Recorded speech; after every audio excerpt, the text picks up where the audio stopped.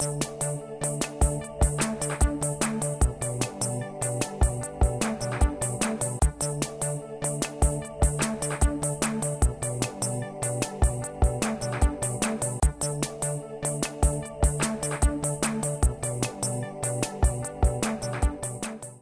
let's uh, start our section. This is uh, one invited talk.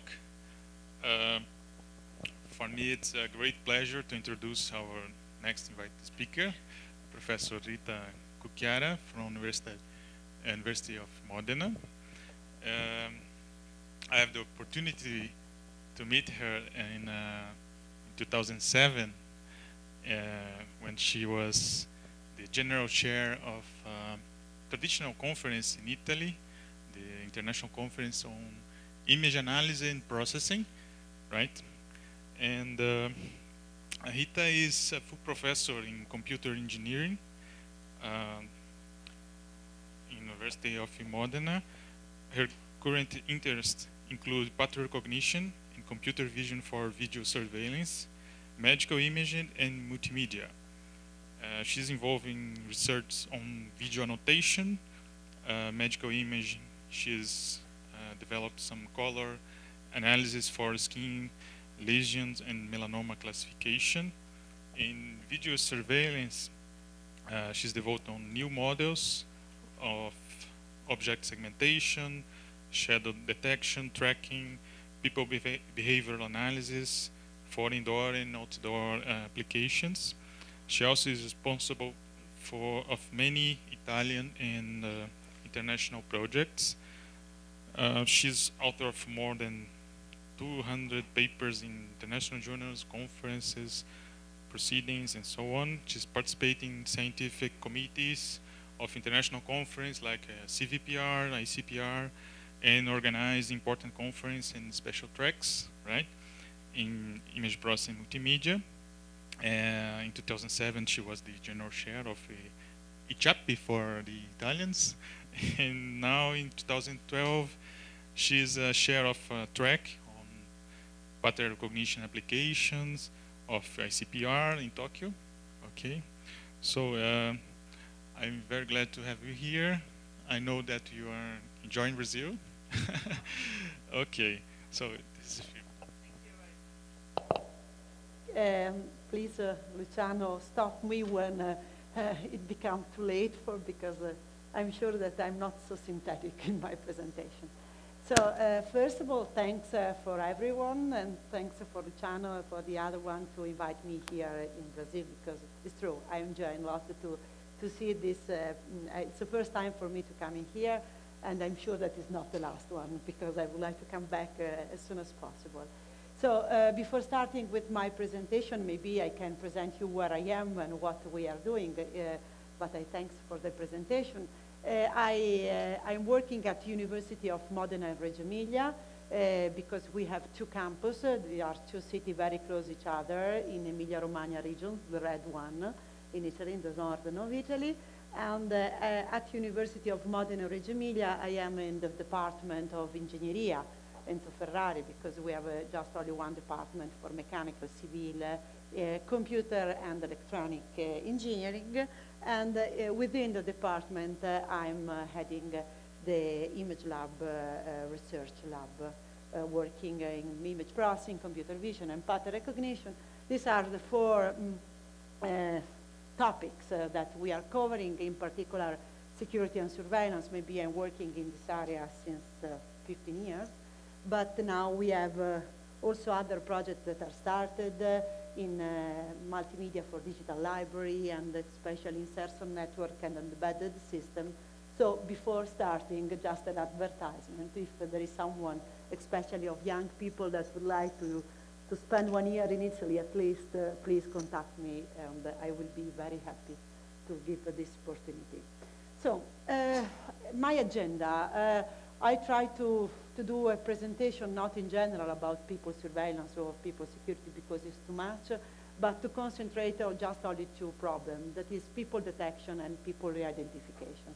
Why these two projects? Because maybe it's something that we are working a lot uh, in the last uh, four or five years, but especially because I like that in both of these projects uh, there is a dichotomy that is uh, always present between the need to, of using 2D uh, and 3D models, and so also a priori knowledge about this, and uh, instead the, the need or the opportunity to use a lot of machine learning, especially every, you know that in the last years, uh, uh, most of the, the uh, techniques that we are using in computer vision are very mixed with um, paradigms coming from machine learning.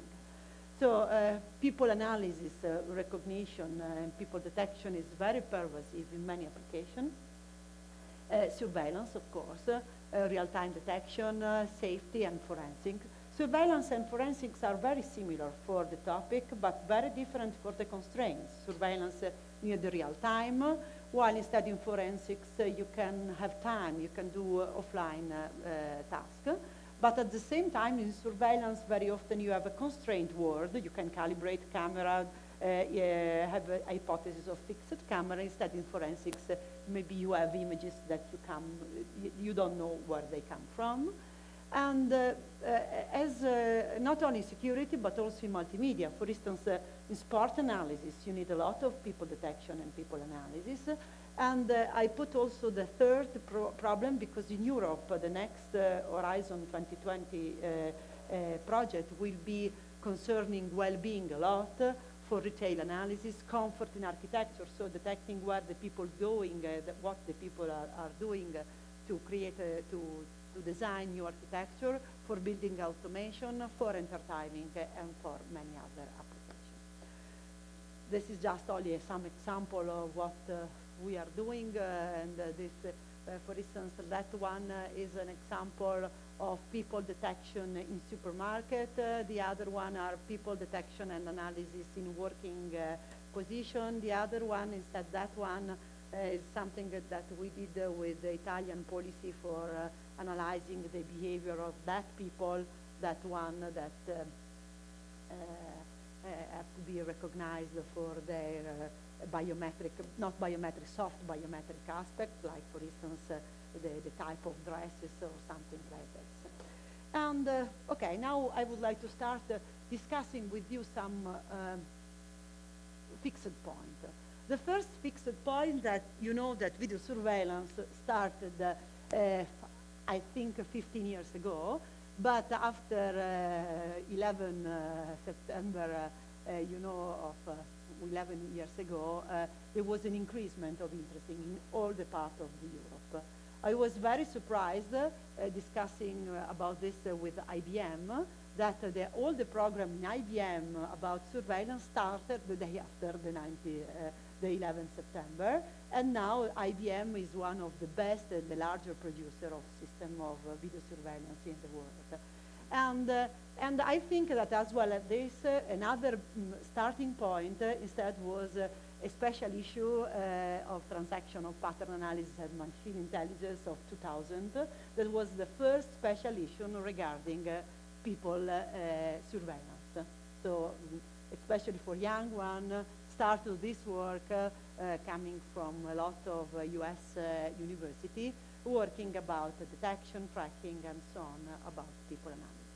And this is a typical um, mainstream of the research of, uh, of the last 10 years. Uh, it's a typical uh, mm, top-down research, acquisition, single, multiple camera, detection, moving object detection with background suppression and everything like this. And then tracking, linear prediction, uh, generative and uh, stochastic prediction, and then understanding very purposive. So we would like to understand if there are two people that are working together or something like this. I think instead that uh, in this new um, part in the, in the last uh, uh, years, there are a, a, shift, a shift in the interest, a, a shift in knowledge about uh, what we can do. And so uh, I try to put together this name because I think that there are many inferences and interference coming from other fields. For instance, detection and tracking now are very related to each other with the spatial and temporal reasoning. And also learning and inferring, uh, the, all the things that the other community in big data analysis are doing about clustering, about classification. Now we can use directly also in surveillance, and uh, searching and recognizing, also using the human feedback. Uh, it's not the time to say we have to do everything automatically, but also, the, especially in forensics, the possibility to include the knowledge, the interest of human is very interesting, and also in this part. So, uh, with this general umbrella, I would like just only to, to put uh, my, uh, my interest in inner two or three point detection and re-identification as an example of two the most important uh, problem we have uh, in, uh, in people analysis. First, uh, people detection. Uh, we um, also yesterday you had some paper here about this kind of problem. And you know the problem, extracting image and video something, a specific shape that can be classified as people independently if it's a true people or if it's just uh, an artificial uh, people, but uh, the idea of a shape of people. This is false. Nobody do uh, people detection now. Most of the research labs in the world are doing pedestrian detection. This is different to people detection because uh, uh, most of us assume that the people are uh, in, uh, uh, in vertical position and maybe you are walking or are, are sitting in this one. Because this is the model that is easier to be identified. And uh, also in uh, this area of pedestrian detection, there has been a shift during the last uh, years from a model-based vision to a learning-based vision. At the beginning, the first uh, work, not this, is, this is, was uh, one of my work, uh, but it was more related to with the tracking, but the first work about people detection addressed the idea of we have a model of the people because there is a head that is ellipsoidic, there is a cylinder or something like this, and looking around if, you, if we find something like this. And then you can use, uh, for instance, articulate model, articulate model and graph matching, uh, like uh, in this work uh, that we did uh, with Marcello Pelillo of University of Venezia, looking for uh, the possibility to recognize the, the shape of people even the camera is moving or just only inferring that there are some parts that can be part of a human and are connected and uh, this idea of uh, model detection is a idea is uh, to, uh, to have the possibility to, uh, to give a model not only of the people, but a model of the scene, a model of the motion, model of the interaction. This is an another example of something uh, we can do if we have a model of the people. We say people is something that is vertical, that is going around, and we can detect the, the, the support points uh, uh, in homographic view like that one, or uh, the head position with the people are line. So this is an example of detection and tracking of uh, people with multiple camera with uh, overlapped field of view. Uh, you know, in this case, that is a typical surveillance environment and surveillance scenario, you have a lot of I don't say constraint, but uh, initial hypothesis. Uh, you, you know the camera, you know everything. But instead, uh, in the last uh, four or five years, uh, most of the work uh, related with people detection are based on learning. Based on learning, we say, okay, I, I don't care about the model of the people, but I know that the people is easier to be recognized because we are so used to see it around. And so we can use classifier and learning system to learn that. Uh, we know that uh, the problem so is moved, not about the model, about uh, which kind of feature we can use, which kind of classifier we can use. So yeah, I just only uh, put here some name or something that is very well known. HOG covariance, uh, integral channel with Dollar and Perona, model-based descriptor, and um, and Ball and the other ones that can be, can be um, detected. I think that it's not a tutorial and most of you know uh, uh, everything about histogram of, Gauss, of gradients. this is one of the most famous people detector also maybe because it's in OpenCV, so everyone can use uh, directly uh, in, uh, there is the, the software in OpenCV that can be used. So image, the image is divided into many windows uh, in a sliding window manner. Uh, in each window we can detect uh, some, uh, uh, some feature like uh, the histogram of gradient, then we put together all in a support vector machine to classify if uh, there is a people or not. Uh, other method is that using cascade of classifier, very useful, add boost, LogitBoost, or something like this. So you use uh, a lot of uh, weak classifier in a cascade uh, in, in, uh, in such manner to have the first classifier that are able to eliminate a lot uh, of, mm, of false example. And just only if you arrive at the end of, of the chain, you say, okay, this is a people. And this is something that is very well known too because it's uh, uh, the covariant descriptor that has been proposed by Peter Meer, uh, Porikli, and Tuzel in the PhD um, work of Tuzel, and has been presented in PAMI three years ago, I think. And uh, the problem is that it's in a Riemannian manifold, and so it's a computational uh, uh, a little problematic, but you can use to detect people. So using HOG, uh, covariance, or many other, what uh, is the result? These are typical results uh, where you have a lot of correct detection, but you have a lot of false positive too. You have uh, some under, the, uh, under segmentation. Under segmentation in surveillance is a very big project problem because if you don't have the head, if you don't have the, the, the hand, maybe you can not do uh, action analysis or something like that. So this is a problem that normally is a, is not considered enough, and you have false negative uh, over segmentation and so on. So uh, just to finish this um, tutorial part, I suggest you, if you are not uh, uh, so familiar with this problem, to, to read especially the new um, pedestrian detection evaluation of the state of the art, this work of Pietro Perona and the other one that uh, uh, has, been has been published on PAMI, I think in January or in February of this year.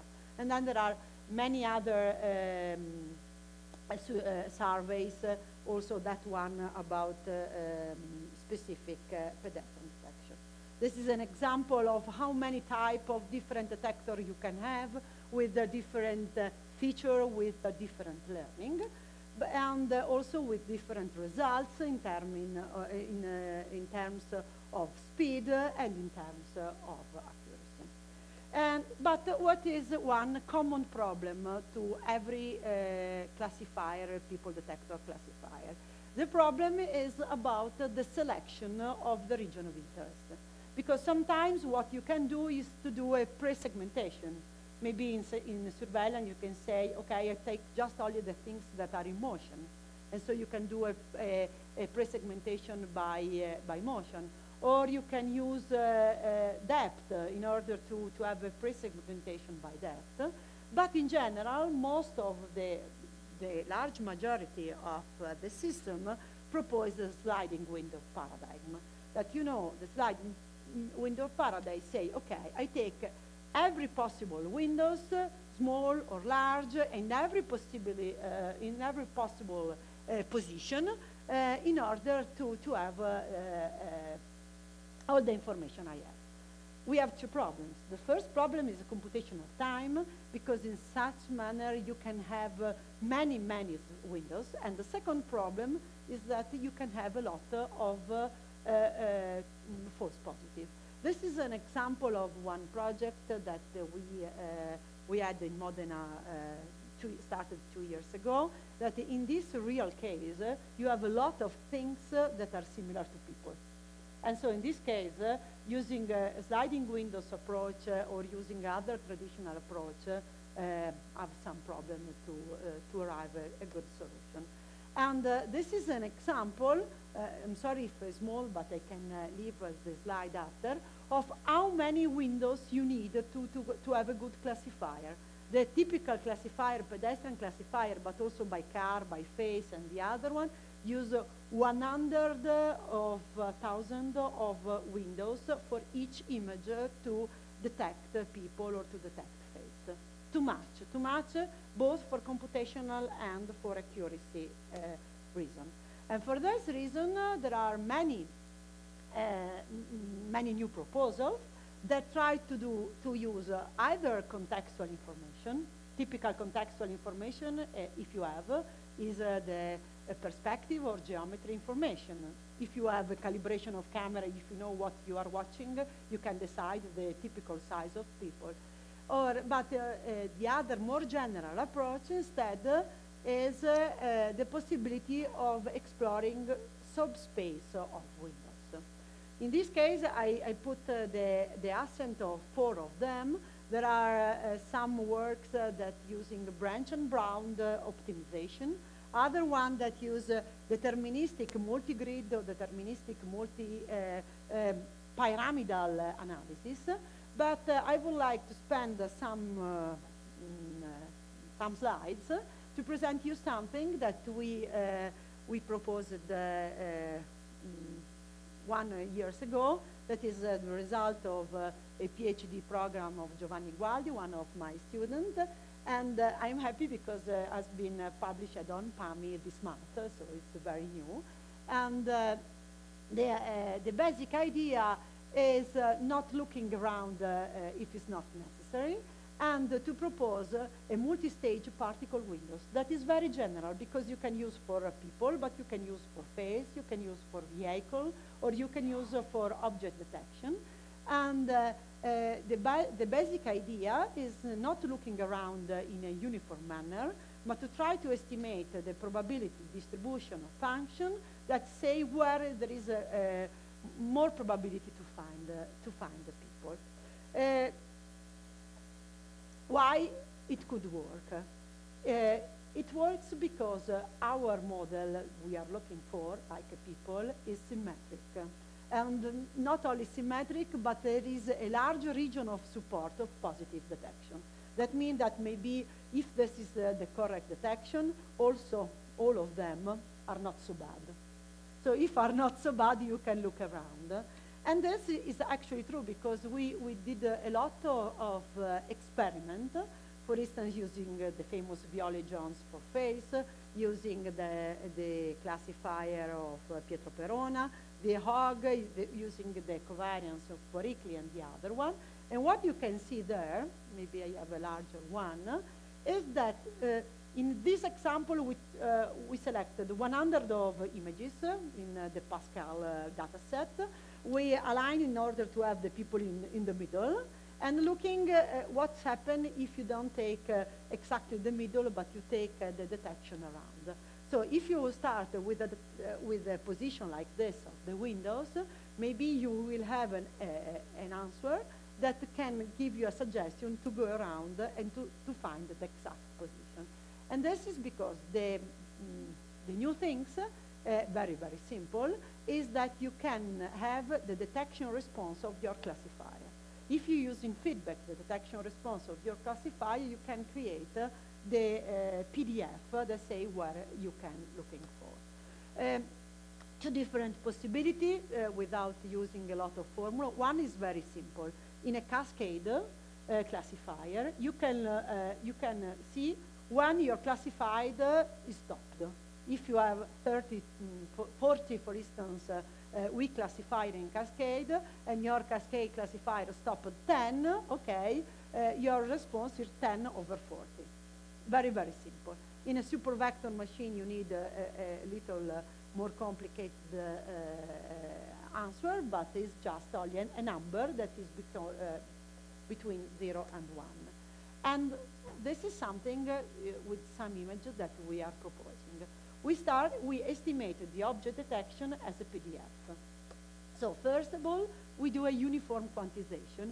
Uniform quantization, that means not in a grid, but in, in a uniform uh, uh, probability of distribution. And in the first step, we put some particle. For this reason, we call particle windows because it's uh, very similar to the idea of particle filtering that we use in tracking. We, uh, we, we, put some particle, but uh, uh, an order of magnitude less than the typical sliding window. And then we use assign a Gaussian kernel to, uh, to each sample. We compute a classifier. We, we see the answer. We create uh, the, the PDF. We estimate a PDF, uh, and after this, we propose a new distribution. So in the second layer, you have the black distribution. In the third layer, the, the pink one, the green one, the blue one, and so at the end. And so at the end, you are able to find, uh, after just only three, four, five uh, uh, steps, you can have a good mm, uh, search for this uh, uh, position. These are some results that you can find in the paper, but maybe also I can discuss with you. This is an example with uh, the Adam families for face with Viola Jones, and these are some other example with many different um.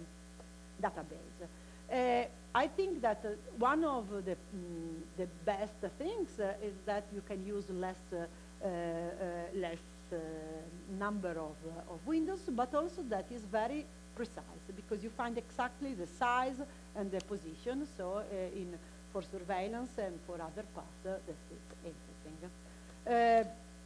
of course, you can use also for starting the tracking, so for in a video, because the result of one image uh, you can use for uh, another one, like in uh, this video. And look, for instance, that one is not pedestrian because in a position that is not typical of a pedestrian. And for this reason, in some uh, frame uh, you can detect it, in other frame you cannot detect. But this is uh, just enough depending of your application. In our case, our application was, okay, that one to detect uh, if the people have the helmet or not the helmet. And so it was enough to, to, to see the, the position of the people just only uh, every few frames or something like this. And this is something that we finished in collaboration with uh, our region. Of course, you can apply this also in other fields. This is a field that uh, I'm sure you know better than mine.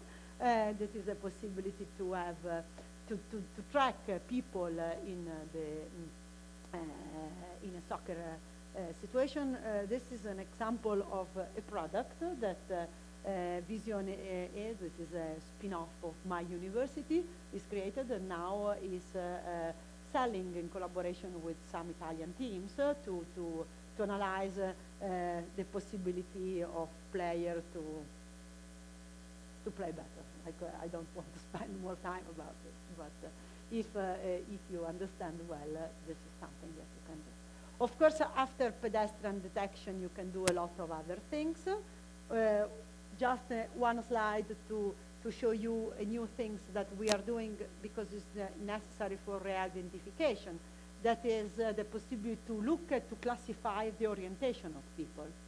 Maybe as in the presentation of uh, 10 minutes ago about gender analysis, you can define the gender with the frontal face, or you can detect cars in different positions. But then the problem is that you would like also to understand which is the orientation of people uh, using with tracking maybe or without. Normally typical uh, approaches until now working just only the four main uh, direction. Instead also the other direction are interesting. Here um, one, uh, another mm, PhD student, Davide Baltieri, working uh, in my lab, is mm, presenting this one in the next ECCV in Italy in October. That is European Conference Computer Vision. This is about the possibility to have um, orientation of this. And the results in this case are, are, not, uh, are not bad, especially because normally for this project, the results are normally very bad.